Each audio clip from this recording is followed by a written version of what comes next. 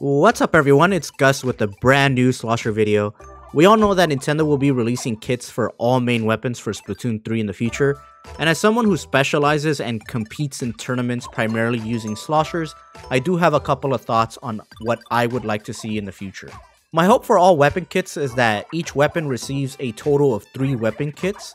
One unfortunate thing about the previous game like Splatoon 2 is that not all main weapons received 3 kits, for example, only 2 out of the 5 buckets received 3 weapon kits, with the Tri, Blob, and the Explo only receiving 2.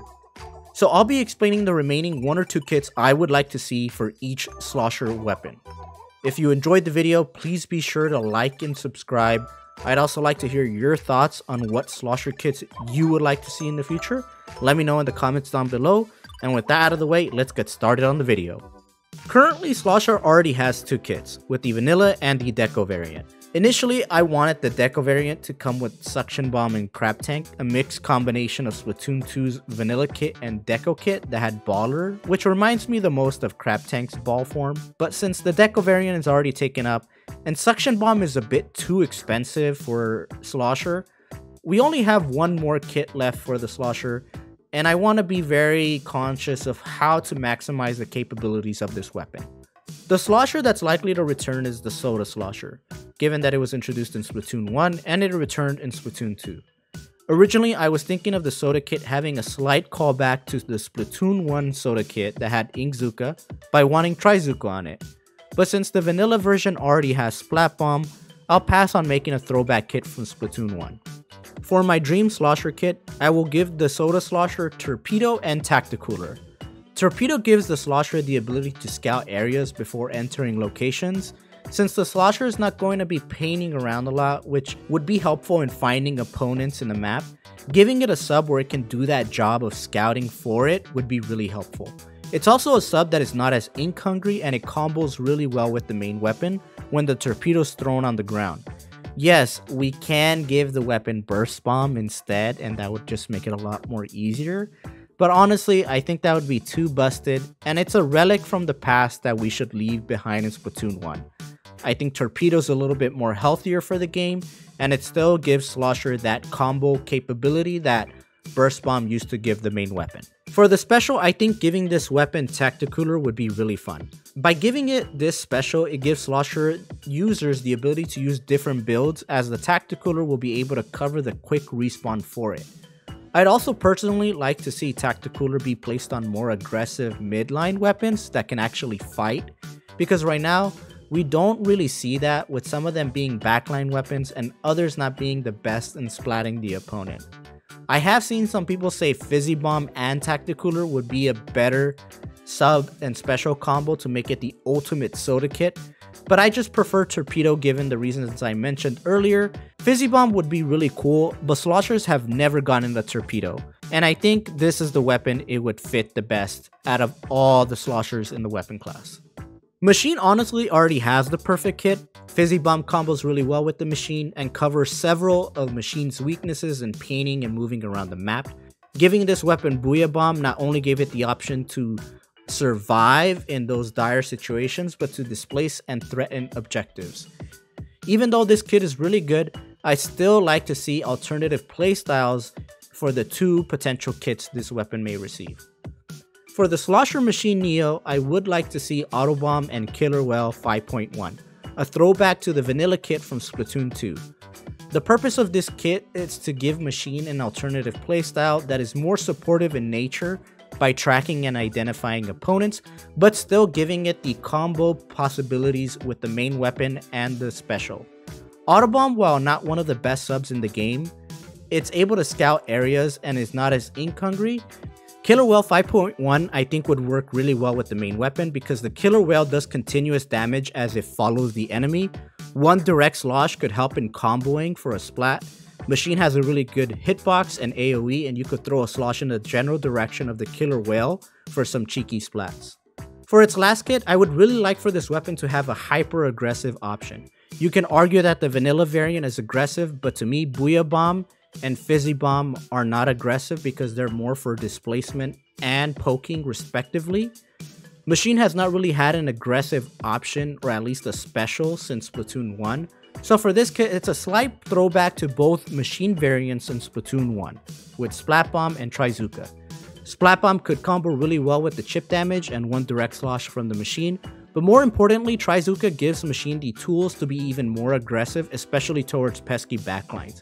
Trizooka could just be popped, and it gives you 3 opportunities to splat your opponents. Moving on to my favorite weapon, the Tri-Slosher. Tri-Slosher currently has Toxic Mist and Inkjet, and I'll be honest with you, when I first saw this kit, I was a bit hesitant, but it's warmed up to me, has a good niche in Rainmaker, and it still works on really good maps like Mako and Flounder Heights.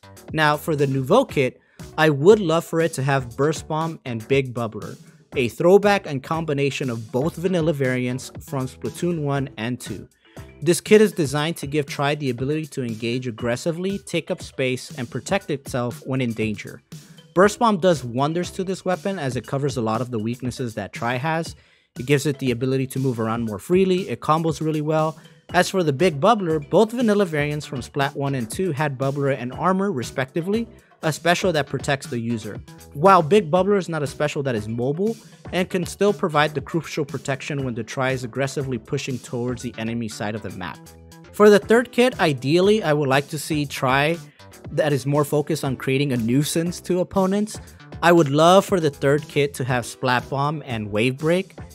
This kit is primarily inspired from a combination of the Nouveau's kit from Splat 1 and Splat 2, Splatoon 1 had Echolocator, which Wavebreaker is the most similar to because of its ability to track opponents, but Splatoon 2's Nouveau kit had Splat Bomb, which functioned pretty well with the weapon.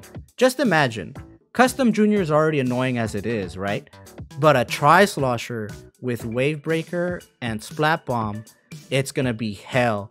The enjoyment I would have seeing fellow Tri-Sloshers create an area of nuisance would be a pleasure, so I hope this kit happens. Blob is the slosher I have the least competitive experience with, but I still play it a ton in Anarchy. For the Deco variant, I was thinking of a kit that is focused on maintaining space and area denial, but a little bit more aggressive to its uh, vanilla variant. So I will give it its Splash Wall and Tri-Strike. Splash Wall worked extremely well for the vanilla variant in Splatoon 2 since it provided the blob protection, but also gave it the option to deny entry in key locations. Bomb Rush is no longer available in this game, so by giving the blob the most similar to it with Tri-Strike to take up space, but also give it a burst of aggression, which it's surely missing from its days in Splatoon 2. For the final kit, I still think we need to give some sort of aggressive alternative. All three blob kits have been fairly passive and it's never gotten any sub or special that is aggressive in nature. And some comp Splatoon players have mentioned wanting a lethal bomb and aggressive special for this weapon. So that being said, I will give this kit Suction Bomb and Trizooka. Suction Bomb is an overall good sub given its function of a being able to stick to floor and walls, and for me, I struggle hitting people on the tower with Blob, and with the Suction Bomb, which can attach to the tower, it can help in either splatting the opponent or move them in a general direction to get the full slosh on the enemy. Trizooka is just the best aggressive option that would not get the blob killed for free. Reef Slider and Ultra Stamp would just be a death sentence for Blob attempting to get in aggressively, and other specials like Inkjet would just not synergize well with the weapon. So Trizooka is the best bet in giving this weapon its first aggressive special that it really needs to push Blob into the next level of competitive Splatoon. Moving to everyone's favorite backline slosher, the Explosher. Currently, Explo has a great kit in my opinion, Point Sensor helps in tracking opponents for their frontline teammates, and Rain synergizes really well with the main weapon. The Splatoon 2 kits, particularly the specials, were strange choices for this weapon at the time, with the weight of the weapon eventually impacting Baller's movement, and Explosher struggling with popping bubbles. I honestly struggle with developing these kits because of how busted you can make this weapon because the main weapon itself is already really strong. So keeping that in mind, I attempted to make weapon kits where the sub synergizes well with the weapon without making it too broken and giving it a special that opens up playstyles that'll support their teammates. For the custom Explosher, I will give it Sprinkler and Booyah Bomb. I think Sprinkler works fairly well for this weapon in Splatoon 2. Explo paints really well, but when it's being rushed down, it's not the best at escaping. Sprinkler gives it a quick tool where you can place it in a location and you can use it to escape. It's also a good way to help you farm your special, in this case Booyah Bomb. Booyah Bomb is just going to be a better special than Rain in terms of displacement because it not only displaces the enemy but provides an additional special meter to those who Booyah back to create the Booyah Bomb. Similar to the Blob, Explo has never received an aggressive sub and aggressive special, and I honestly think it should stay that way because of the properties of the main weapon. So I want to give it Ink Mine and Wave Breaker.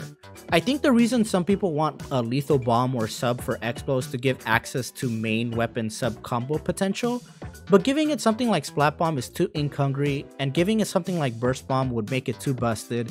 Ink Mine gives it the ability to not only track, but still combo really well with the detonation of the sub and one direct slosh.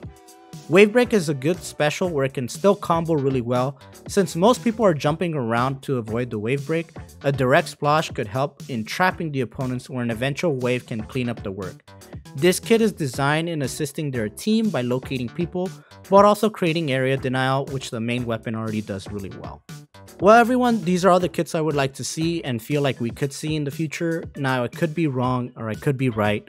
Looking at all the kits I created, none of the weapons I proposed have Ink Vacuum, Tenta Missiles, Reef Slider, or Ultra Stamp. There's no doubt in my mind one of those sloshers will get some of those specials unfortunately. There were also several subs not proposed. Are my weapon kits crazy? Are they too simple? What kits would you like to see? Post them down in the comments below. And once again, thanks for watching. I hope you enjoyed the video.